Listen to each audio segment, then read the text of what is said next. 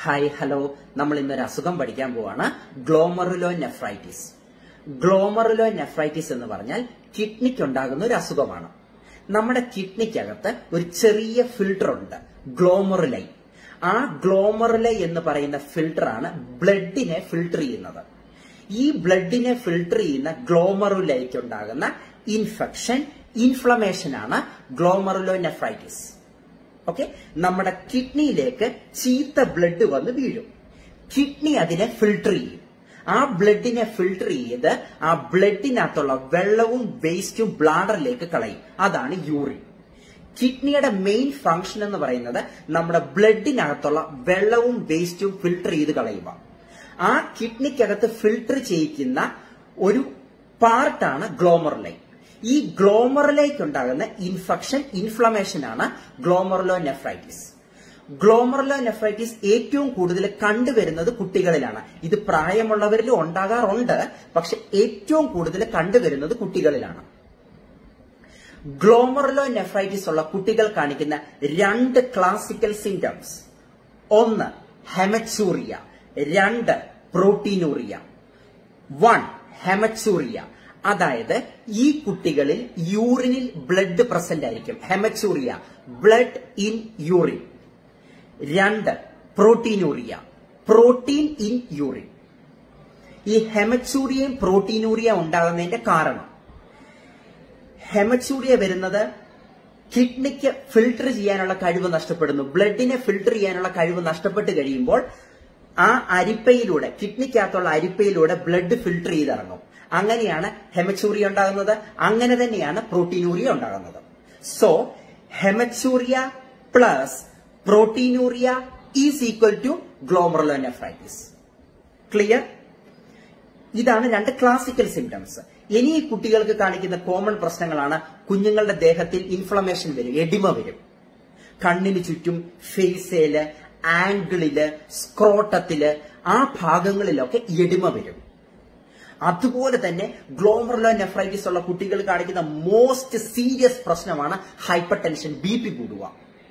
വളരെ serious complication ആണ്. ഗ്ലോമർലോ നെഫ്രൈറ്റിസിന്റെ most serious complication hypertension so ഇത്രയും കാര്യങ്ങൾ ക്ലിയർ ആണല്ലോ? ഗ്ലോമർലോ നെഫ്രൈറ്റിസിന്റെ കോസസ് ശരിക്കും ഇത് എന്തുകൊണ്ടാണ് ഉണ്ടാകുന്നത് എന്നുള്ളത് അൺനോൺ ആണ്. എങ്കിലും സ്ട്രപ്റ്റോകോക്കൽ ഇൻഫെക്ഷൻ തൊണ്ടയ്ക്ക്. ത്രോട്ടിന്റെ ഭാഗത്ത് സ്ട്രെപ്റ്റോകോക്കൽ ഇൻഫെക്ഷൻ വന്നിട്ട് അത് മാറി ഒരു ഒന്നോ രണ്ടോ ആഴ്ച കഴിഞ്ഞിട്ട് ഗ്ലോമർലോ നെഫ്രൈറ്റിസ് വരാനുള്ള സാധ്യതയുണ്ട്. സോ ഈ ഗ്ലോമർലോ നെഫ്രൈറ്റിസ് ഉള്ള കുട്ടികളുടെ ഒക്കെ ഹിസ്റ്ററി എടുക്കുന്ന സമയത്ത് ഒരു നയന്റി പെർസെന്റ് കുട്ടികൾക്കും തൊണ്ടയ്ക്ക് ഇൻഫെക്ഷൻ തൊണ്ണൂറ് ശതമാനം കുട്ടികൾക്ക് കാണും തൊണ്ടയ്ക്ക് ഇൻഫെക്ഷൻ ഒരു രണ്ടാഴ്ച മുമ്പ്. അതുകൊണ്ട് ഈ അസുഖമുള്ള കുട്ടികളുടെ പേരൻസിനോട് ചോദിക്കണം. കുഞ്ഞിന് ഇങ്ങനെ തൊണ്ടയ്ക്ക് എന്തെങ്കിലും ഇൻഫെക്ഷൻ വന്നിട്ടുണ്ടോ എന്ന് ഇതൊരു മോസ്റ്റ് കോമൺ കോസ് ആണ്. അതുപോലെ തന്നെ രണ്ടാമത്തെ കോസ് ആണ് ബാക്ടീരിയൽ എൻഡോകാർഡിയറ്റിസ് ഹാർട്ടിനകത്തുണ്ടാകുന്ന ഒരു ഇൻഫെക്ഷൻ ആണ് ബാക്ടീരിയൽ എൻഡോകാർഡിയറ്റിസ് ഇതും ഇതിന്റെ കോസ് ആയിട്ട് കരുതുന്നുണ്ട്. പിന്നെ വൈറൽ കോസസ് അതൊന്നും അത്ര കോമൺ അല്ല. എന്നാലും മോസ്റ്റ് കോമൺ കോസ് ആയിട്ട് പറയാൻ പറ്റുന്നത് തൊണ്ടയ്ക്കത്തെ ഇൻഫെക്ഷൻ ആണ് സ്ട്രെപ്റ്റോകോക്കൽ ഇൻഫെക്ഷൻ ക്ലിയർ ഈ കുട്ടികൾ കാണിക്കുന്ന signs and symptoms okay haematuria ഉണ്ടാകുമെന്ന് ഞാൻ പറഞ്ഞില്ലേ? ബ്ലഡ് ഇൻ യൂറിൻ ഹെമച്ചൂറിയ വന്നാൽ യൂറിന്റെ കളറ് കോള കളറാകും കോള കളർ യൂറിൻ രണ്ട് പ്രോട്ടീനൂറിയ ഉണ്ടാകുമെന്ന് ഞാൻ പറഞ്ഞില്ലേ? പ്രോട്ടീനൂറിയ പ്രോട്ടീൻ യൂറിനകത്ത് പ്രസന്റ് ആകുക. അങ്ങനെ വന്നാൽ ഫോമി യൂറിൻ ആകും. ഒരു തരം പത പത ഇല്ലേ പത ഫോമി യൂറിൻ. ഹെമച്ചൂറിയ വന്നാൽ കോള കളർ യൂറിൻ. പ്രോട്ടീനൂറിയ വന്നാൽ ഫോമി യൂറിൻ. പിന്നെ ദേഹം മുഴുവൻ എടിമ ഇതൊക്കെയാണ് കുട്ടികൾ കാണിക്കുന്ന most common signs and symptoms clear ഈ കുട്ടികൾക്കുണ്ടാകുന്ന കോംപ്ലിക്കേഷൻ ഞാൻ ഓൾറെഡി പറഞ്ഞു കഴിഞ്ഞു. Hypertension so hypertension ഭയങ്കര അപകടമാണ്. ബി പി ഭയങ്കരമായിട്ട് കൂടിയാൽ അത് ബ്രെയിനിനെ അഫക്ട് ചെയ്യും. ബ്രെയിനിനെ അഫക്ട് ചെയ്താൽ എൻസെഫലോപ്പതി എന്ന അസുഖം വരും. സോ ഹൈപ്പർ ടെൻഷൻ വളരെ അപകടമാണ്. എൻസെഫലോപ്പതി ഉണ്ടാകാനുള്ള സാധ്യതയുണ്ട്.